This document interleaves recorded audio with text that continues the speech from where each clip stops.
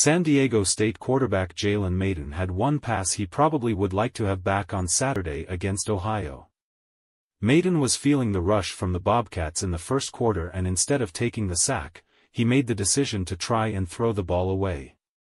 Instead, he nailed the center judge in the face with the football. The official appeared to be okay. San Diego State hung on for a 20-13 win and got started off on the right foot.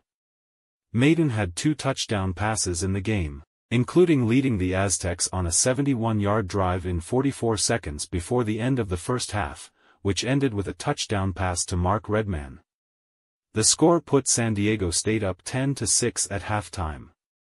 Mayden finished 17 for 27 with 164 passing yards.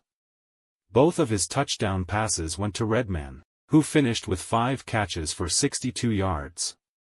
Aztecs running back Jaylon Armstead ran for 78 yards on 8 carries.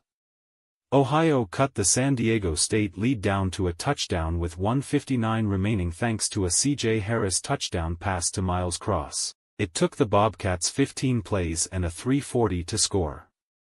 They would force San Diego State to turn the ball over on downs with 55 seconds left. Harris tried to lead the Bobcats down for one more score but had his pass intercepted.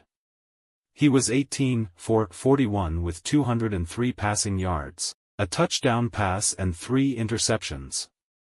Bobcats wide receiver Sam Wiglusz had 10 catches for 103 yards.